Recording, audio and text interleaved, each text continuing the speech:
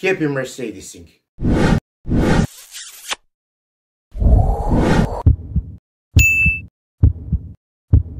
In this video I would like to answer one question that concerns uh, the vacuums. So let's answer the question and let's go to the garage. Shall we? So, concerning the, the vacuum tube from the EZL, so here is the tube. I'm showing you this on the example of the M102 engine. Here, it goes here, here, and then all the way under the intake manifold, it ends here. You see? That's the one. It goes there in this, how do we call it? T or Y rubber element. So that's the one we need for the vacuum. And this is the second one we need for the economy gauge. This one, I mean. Concerning uh, the replacement procedure, well, I think everything is self-explanatory. I can just give you the reference of the depth of uh, the tube.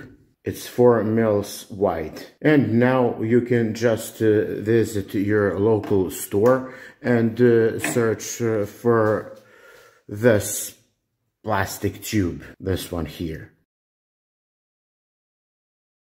And you need one and a half meter. That would be enough to reach from uh, the EZL module up to the vacuum port. Up to the second part here. This one, I mean.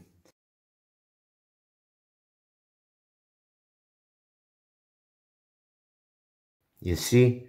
See my finger? Up to this one. As I have already said, everything is self-explanatory. Remove this part and the other one there. You stick it in as uh, as hard as you can, and that's it. That's the procedure. It's nothing uh, too complicated. So, if you liked this video, please consider subscribing to our YouTube channel and click the bell to be notified when we post new videos. Then, I would kindly ask you not to hit the button uh, skip ad. That is going to help me a lot. And till some next one, happy Mercedesing. Bye.